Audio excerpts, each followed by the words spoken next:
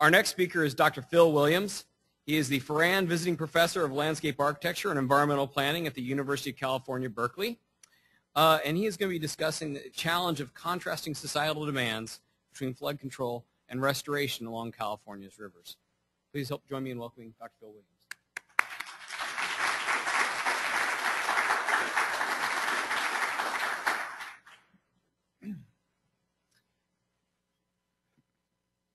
Well, river and wetland restoration is where most of the restoration dollars are being spent in the United States. And as you can see from the title of my talk, I'm focusing on what I see as the one of the most significant institutional, uh, conceptual, and psychological uh, constraints on effective river restoration. Um, I thought I'd start my presentation by showing you at least one picture, a nice picture of a river. I see if I can.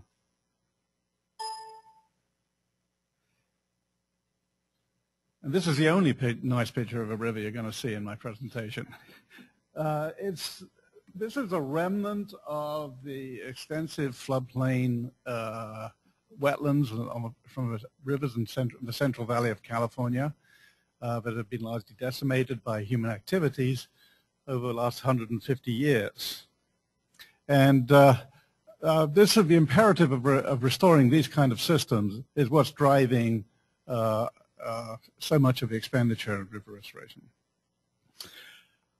Although I have focused my professional activities in the last 35 years on developing this practice of river restoration, I was actually trained as a hydraulics engineer to actually dam, divert, and channelize these rivers.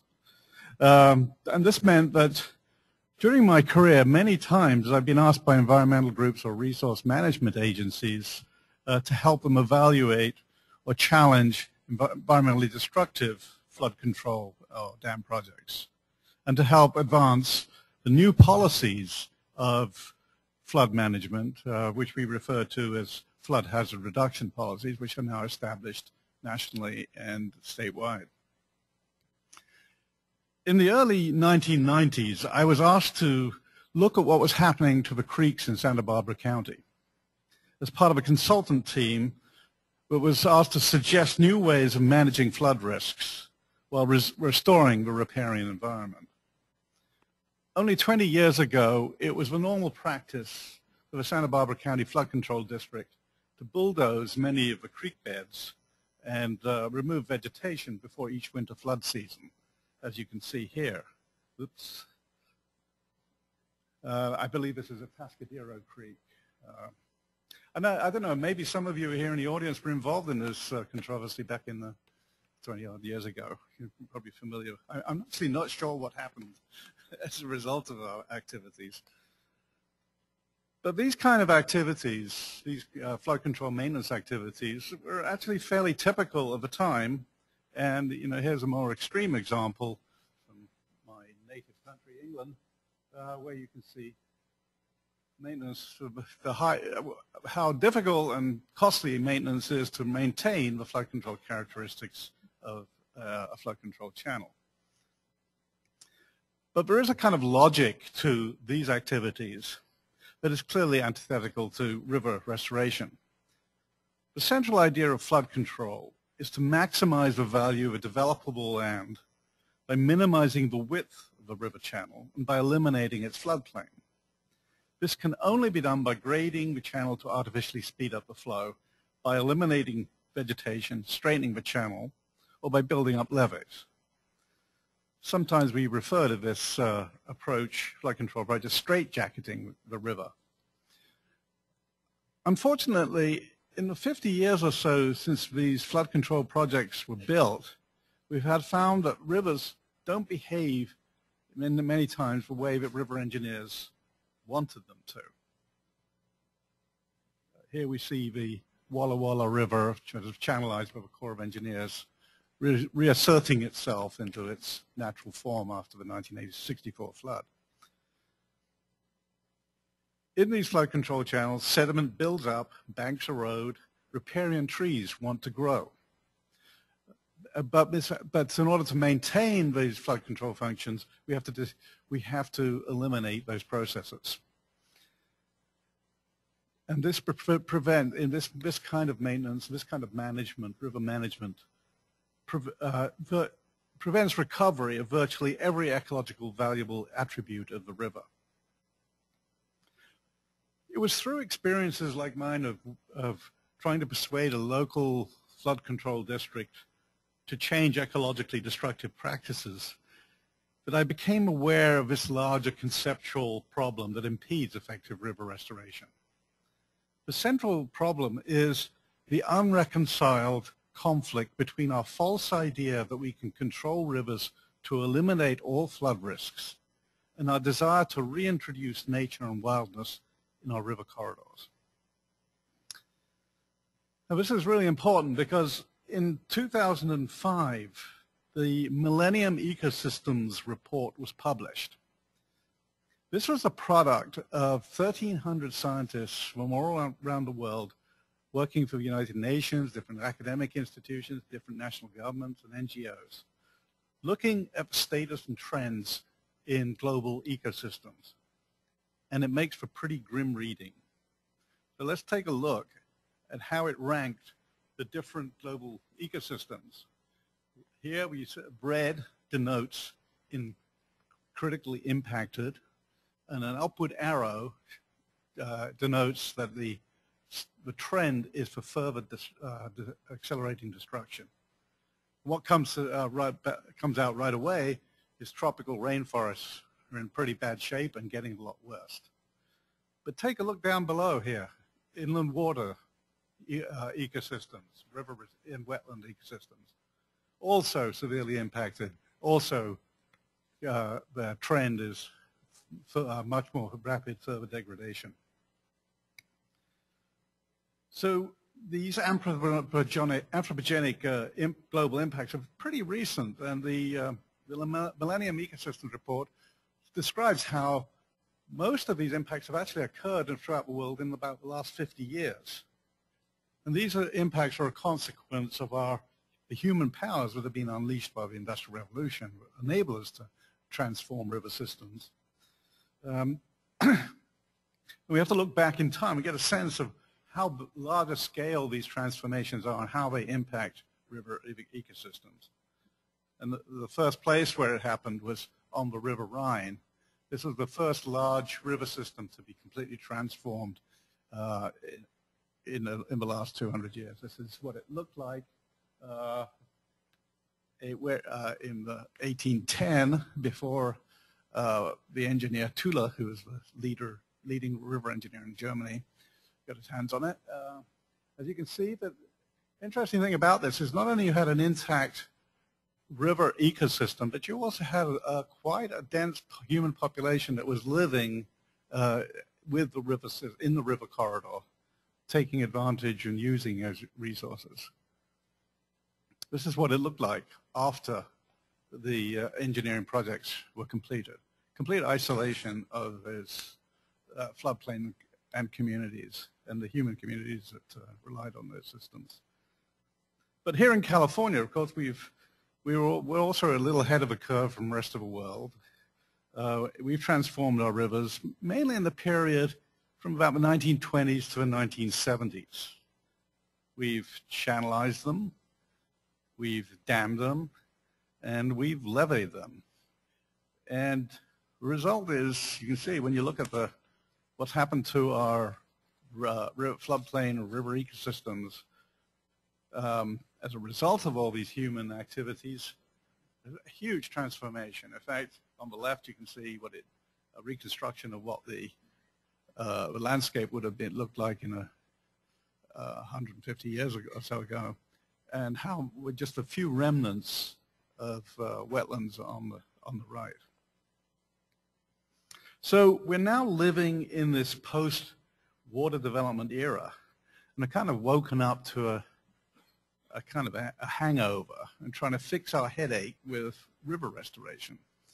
And in doing so, we've started to learn a lot more about how river ecosystems work. Although, uh, oops, I think I've, although uh, uh, although river-dependent ecosystems are just as complex as, as upland uh, ecosystems, the movement of the, the they are strongly dependent on the, the physical processes that affect the, the, the, um, the, the, the ecology. It's the movement of water and sediment um, that is so important. Restoring the integrity of those physical processes is really important in uh, river restoration. So, and I want to give you just an example of a simple conceptual model of how uh, how uh, a, uh, a lowland river ecosystem should be functioning and how we've altered it. Here's uh, just a cross-section of a, a, lowland river where you can see that it has a, a floodplain that's periodically inundated, a water table that sustains backwater wetlands. This is how everything is supposed to work. When you examine it in more detail and look at the interaction between the ecology and the hydrology, you can see how at different times seasonally, the, uh, how vegetation is responding to uh, flood pulses, how fish use the floodplain. Um, there's a whole host of complex interactions from the ecosystem, all that relies on the interconnection between the river channel, the river channel overflowing its banks, inundating the floodplain, and uh, you can clearly see that the whole system works uh, as a unit. When we build flood control levees, this is what we do. We completely isolate the floodplain, eliminate all those functions. Also have uh, significant adverse effects on what goes on in the, in the river channel itself. But uh, we can also uh, eliminate the floodplain by other means, by altering the hydrology of the watershed or by building dams, um, by straightening rivers. And this can create a geomorphic process called incision of a, of a river channel, which cut, which erodes the bed of a river channel, lowers the bed, and it dries out the floodplain, with it, even without um, building levees. So the concept of restoring physical processes is to try to reconnect these processes, to reactivate those floodplains, get them wet again. And you can see some examples of where this has been done. Here, the Nature Conservancy breached the levee on the lower Cosumnes River. This is what it looked like the first year. You can see this used to be an agricultural field. And uh, the first year flood deposited this nice sandbar in the, on the agricultural field. By the next year, uh, you're already starting to see cottonwood starting to occupy that sandbar. And, you know, I, I scratched around trying to find what it looks like now. Whoops, I wasn't able to locate a good picture, but it, it's now fully vegetated, fully wooded, uh, that area. And the UC Davis has actually been doing research on the fish use in that area, and this is what they're finding. Uh, that this is a native fish, is a split tail, they're finding that fish that are reared on the floodplain, that flooded floodplain, of the same age class, are much larger and healthier, much more robust than the ones that actually are confined to the channel. And this confirms those, all those interactions between restoring the physical process of flooding, reflooding the floodplain, uh, and how we need to go about restoration. And another example on uh, more specifically on where a channel has been incised and how that can be, can, we can reactivate floodplains is here on Redwood Creek, just down by uh, below Muir Woods, where a, a, a, a um, floodplain terrace was graded, and after in a in a large flood now, instead of the fields being dry, now they're getting flooded, and uh, willows, alders uh, are establishing themselves in that area. So this is the kind of, this is what I mean by restoring physical processes. And um, the, uh, so over the last 40 years or so, we've seen how public opinion has shifted to supporting protecting the environment. And we developed new ways of thinking about how we should live along the river. And we see ourselves as wardens or long-term managers of river systems. that balances human uses requiring reduction of flood hazards and the needs of the environment. It is this, within this context of multi-objective river management that river, river restoration actions are, re, are, tools for rebalancing trade-offs that, that, were made uh, many years ago. But the major challenge facing river restoration is that we're usually trying to retrofit an obsolete river engineering infrastructure that was designed at a time when the long-term environmental and economic impacts of levees or channels or dams were, uh, were unknown, were ignored, or were disdained.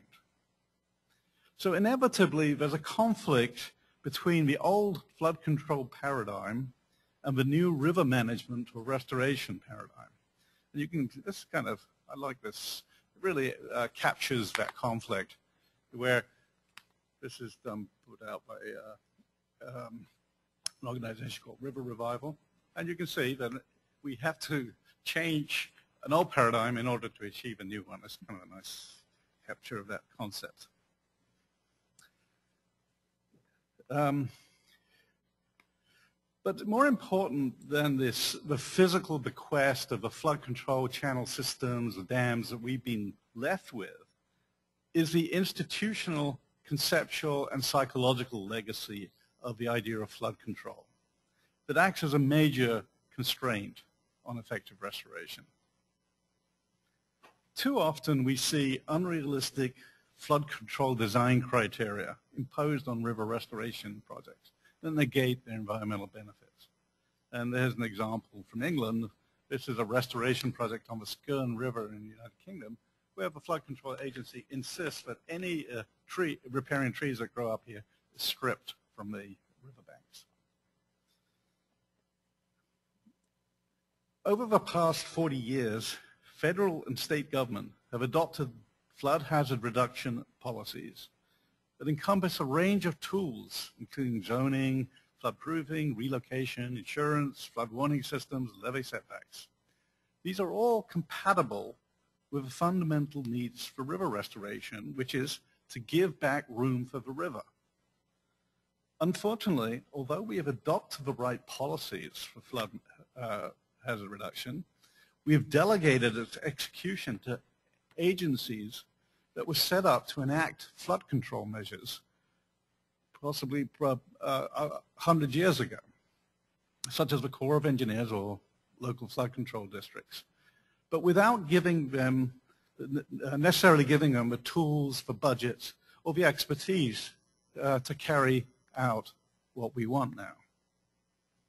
And these flood control agencies are faced with escalating replacement costs as the shortcomings of these simplistic flood control works become apparent, but are now forced to commit to maintaining existing flood control infrastructure, even though there may be significant flood hazard reduction benefits from more imaginative approaches that include restoring rivers.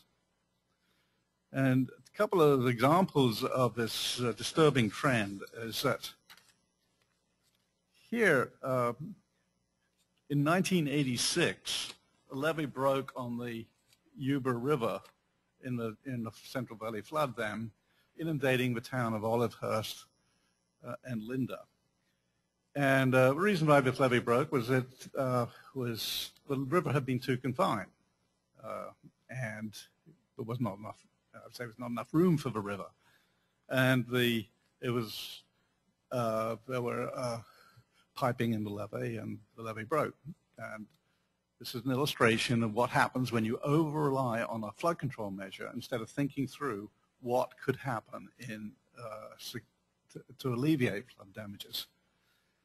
But uh, unfortunately, there was a, big, a lawsuit that was resolved, resolved in 2003 that ended up holding the state of California and by implication all local flood control agencies so liability for any failure of a flood control infrastructure. And this, this is called the Paterno decision. And what this means is it's impelled these agencies to reinforce levees and flood control infrastructure in place rather than look for more cost-effective ways of reducing flood risks, such as land use controls, restoring functional floodplains. And you can see this now all across the state where uh, agencies are scrambling for funds to try to just patch up what they have now. And second, in the aftermath of the levee failures in New Orleans during Hurricane Katrina, the, the Corps of Engineers uh, decided that it was time to evaluate the integrity of its le uh, levees nationwide. And has come to a determination that vegetation on levees is, is simply not, uh, we cannot, they cannot allow trees to grow on levees. Um, like this here. And those flood control uh, systems that we have in place on the major rivers in California, the last remnants of, of the uh, riparian ecology is provided by what's been growing on these levees. Now, the Corps of Engineers is, is insisting that these tree, all these trees be removed. The state of California is fighting this decision, and it actually has not been resolved. But elsewhere in the country, this is what's happening, is uh, in order to maintain those levees in place based on these decisions that were made, you know, 50, 60, 70 years ago, which ignored the environmental effects, they are, uh, the vegetation is having to be stripped off these levees. So, and, and uh, of course, what we find is that's when you look into this, that the, the trees, in most instances, have very little to do with, with levee integrity. Uh, that's another frustrating aspect of this. One reason why the zombie idea of flood control won't die is that people have got used to thinking of rivers in the wrong way, as places limited only to the area between the channel banks or between the levees, not the active floodplain or the river corridor that provides much of the environmental and flood hazard reduction benefits. Instinctively, Still, after each major flood, there is a public demand for more and better flood control to keep the river in place rather than more or better flood management that would allow for restoration of the ecosystem along the river corridor. In part, we were motivated by perverse incentives uh, like the wrong kind of subsidies for flood insurance that encourage people to develop floodplains. But in part, it's because we simply do not understand the landscape we live in.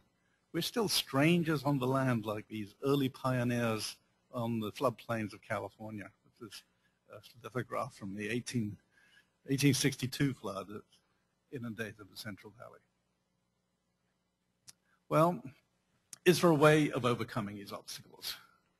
Well, I hope I got across maybe three key points. One is, for effective river restoration, we need room for the river which means releasing from some straitjackets flood control has imposed on it. It means we need a lot, lot wider right-of-way widths to work with. It also means re-educating people about what a river is, that it does encompass an active floodplain and how valuable the, the ecology of the uh, floodplain is. And to achieve the cumulative benefits of flood hazard reduction and river restoration, we need competent river management authorities who can actually uh, carry out changes that need to take place and manage these river systems into the future. So has this been done anywhere? Not really, but there are some hopeful signs. Um, and this is the Napa River uh, uh, uh, Flood Protection Project. Um, the this was originally a Corps of Engineers flood control channelization project through the downtown of the city of Napa. And um, fortunately, the uh, design and uh, planning and design of this was was taken away from the Corps of Engineers at an early stage and and led by the community, the city, the county, local environmental groups. And we were able to get new a new approach that was uh, to redesigning, cum providing cumulative benefits of restoration and flood hazard reduction through the city. Uh, by giving room for the river, by grading terraces, as you can see through the downtown area, and uh, by building flood walls. So we did have some structural elements in here in this in this project. But, uh, and this is what it looked like after the, uh, the grading. So you can actually see that the river channel has been widened. We've now got opportunities for, for, uh, for wetlands and floodplains along the river channel. I think one of the most important things about this project, actually, though, was the insistence of the local community that the words flood control not be used to describe the project. It was called a flood protection project. And I think that was appropriate. That conceptual or psychological advance was very significant. Well, I want to conclude by going back to my title. I call this a classic restoration conflict, the conflict between flood control and river restoration.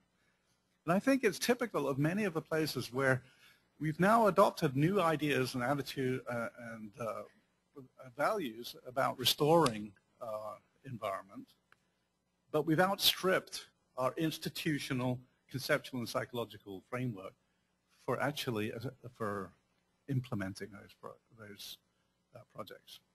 So that's the challenge facing us. Thank you.